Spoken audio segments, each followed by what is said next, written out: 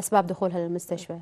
نتيجة الحرق تقول لك شو اللي حارقها؟ تقول أخوي حطاني آه، حط كلبشات وحطاني في السلم وحط شمعة آه، وتم الشمعة طبعا حرقت عليها. يعني مبين- لها عاهه سبب. لها طبعا سبب لها عاهه دائمه تقول ما تقدر تحرك إيدها والشغلة هذا أها. إيه. يعني دخلت المستشفى بإنها كانت مصابة يعني إيه،.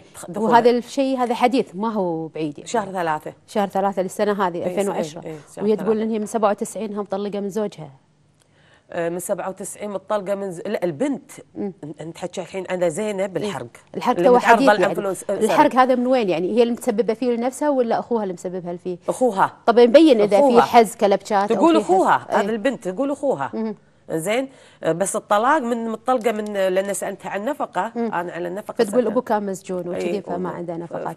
فأنا اللي أشوف يعني إذا البنت فيها إصابات فمن وين هذه الإصابات اللي حصلت فيها؟ هذا هو إذا هي منفصلة فت إي إذا ورفعت قضية على أخوها. وش اللي صار بالقضية؟ ما أدري إلى الآن. إي فهي يبين يعني من الحكم إذا المحكمة أدانت الأخو ولا ما تدينه. مني تقدر تقدر توجهين اتهامات إن الاخو تسبب لها في هذا العنف أو لا.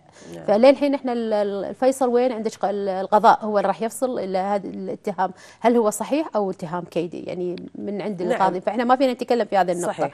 أما مثل الأم لا إحنا الأم إحنا نقول الأم مدرسة. يعني عاتق التربية دائما على الأم. يعني دائما الواحد وين يوصل يقول هذه أمه وراه ما يقولون أحد ثاني. فدائما الأم عليها وين كانت تقولي أنا مثلا مهتمة ببنتي؟ لا الأم محتاجة إنها تهتم بابنها أكثر وأكثر.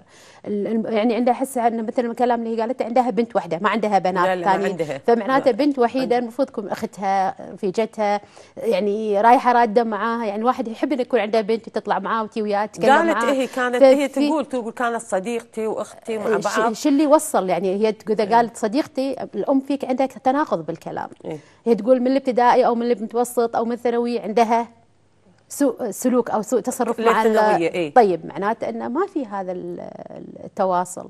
يعني دائما لما تيجي تتكلم الأم تكلمت تقول- الأم في حالات متناقضه كل ساعة رايحة وراده وم- والشكاوى ولا شفت الملف مفتوح يعني المال البنت اللي وصلت لهالطريقة لأنها شافت إن هذا الحل الصحيح الضرب يعني هو الحل إحنا نقدر الصحيح. نقول أستاذة ليلى إن العم- العملية كلها التمتر صاير في العنف ضد في- البنت. في ضد البنت. يعني أنا هذا اللي أنا اشوفه هذا اللي؟ أنا أشوفه. البنت محتاجة علاج نفسي أكثر من أي شيء آخر. محتاجة حنان أمها بعد بنفس الشيء. دور الأم. دور الأم محتاجته، نعم. دور كبير مو شوية. لا، لأن الله سبحانه يعني. وتعالى وضع في الأم منبع العاطفة. ما تلقين عند أي أحد آخر.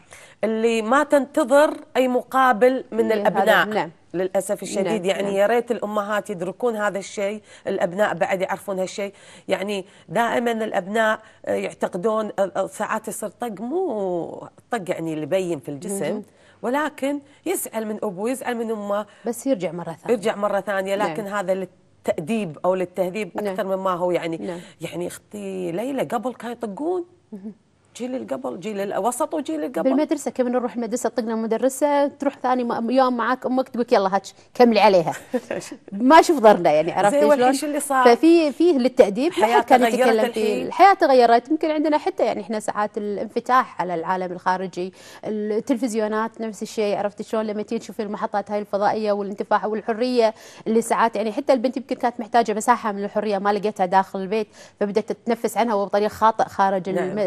البيت فلقيت أقرب شيء عندها الضغط اللي كان يمارس عليها في البيت كانت مارسة وين؟ ضد الطالبات أنا ما ألتمس لها العذر في الاتجاه اللي هي اخذته في مصحات نفسية موجودة في علاجات نفسية إذا هي كانت تتعالج. ووقفت العلاج طبعا هي غلطانة في هذه النقطة المفروض تستمر بعلاجها إلى النهاية لغاية ما رب العالمين يتم الشفاء عليه. أما إذا هي مثلا مثل ما قالت الأم صحيح إنها ودتها علاج نفسي وما استمرت في العلاج طبعا هذا شيء آخر. نعم. إحنا ما نعرف شنو التوجه اللي عندها زين أنا بس بستغل الدقيقتين الأخرانيتين هذول اللي عندي. أبيك تكلميني عن ضرب الزوجات وحكم هالشيء هذا الحكم في الموضوع هذا.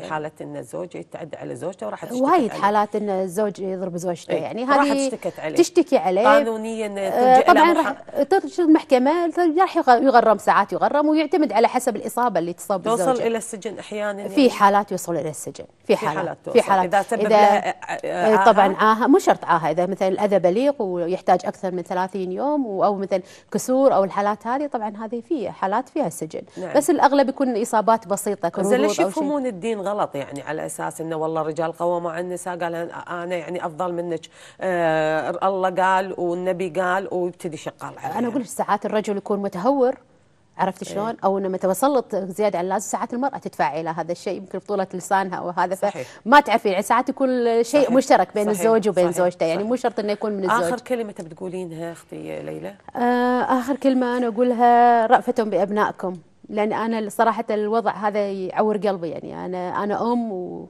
وأخاف هم على أبنائي عرفت شلون؟ فالوضع إن إحنا نشوف أبناء بهذه الحالة من الأمراض النفسية صراحة شيء يحز بالخاطر إحنا نطلب من الدولة إنها تكون لها يد ومساهمة في علاج كثير من الأمراض النفسية اللي موجودة.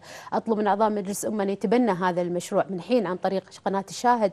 أو أتمنى إن في أحد من أعضاء مجلس الامه يكون يسمع هذا البرنامج. ويتبنى قانون إن الدولة تكون مسؤولة عن علاج النفسي لامور كثير من الأمراض النفسية. على كلامك مليون بالمية. وتكون مش موجودة في المدارس الهدف يعني. الهدف إحنا من رابع حلقة للعنف الأسري إن إحنا نوصل كدولة متحضرة في الكو- الكويت دولة نعم. تعتبر من الدول ما شاء الله المتحضرة إن لابد تكون عندنا آه، آه، مكان إيواء لمن يتعرض للعنف الأسري ويكون في علاج نفسي يعني مو بس. ما بس إيواء أنت أكيد أويته أكيد إذا وما عالجته هذا لا لازم تداويه فيه الأسس والضوابط جميعها في علاجات. فيها نعم. الناس اللي تعالج اللي يعانون باكر معاي الأستاذة منيرة الفضلي آه، مديرة إدارة الرعاية الأسرية الأرامل والمطلقات والإعانات آه، من وزارة الشؤون. نشوفكم إن شاء الله باكر ونستمع إلى مشاركاتكم. وفي أمان الله مع السلامة.